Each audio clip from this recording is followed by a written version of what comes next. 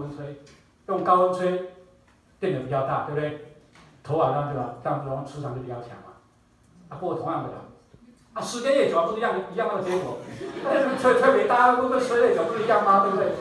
所以金锤吹耳后啊，对吧？那我们现在所讲的磁场对的影响是这个，叫做感应电流。一个毫高斯，OK。一个毫高斯在人体的表面面积哈，面积一面积一平方公尺呢，会感应电流零点零零一毫安培。你说一个毫高斯的时候呢，在这环境里面一毫高斯，我的在这里面，我的身体表面积一平方公尺会感应电流一个 micro 安培，就是零点零零一安培。那把它乘以五万倍，那么就是退位到到到到乘以五，五十毫安培，对不对？五万毫高斯的环境里面，人会感应五十毫安培。这五十毫安培都在表面的话呢，人会怎么？痒痒痒痒的，好。但是如果电流是穿过心脏，人就死掉了。换句话说，五十安培是人体接受电流的什么临界值？过这电流以上，你一定死。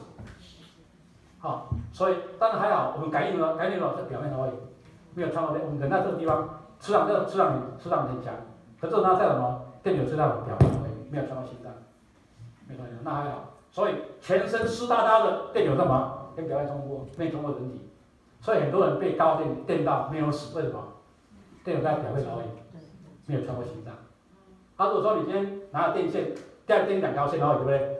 一根拿出一根，一根拿出一根，电流刚穿过去，温细耶，了解吗？这两条线而已。好，右右手拿一根，左手拿一根，电子上穿过去，一定死。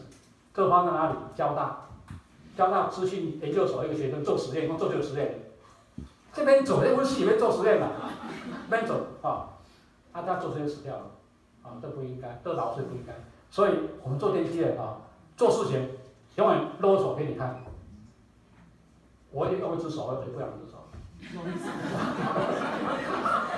哇，这个就很怪怪，这个都可以看，或者用右手，那人的心脏可以心脏偏左边。嘛，啊，都会说用右手，所以左手左边的不是电机啊，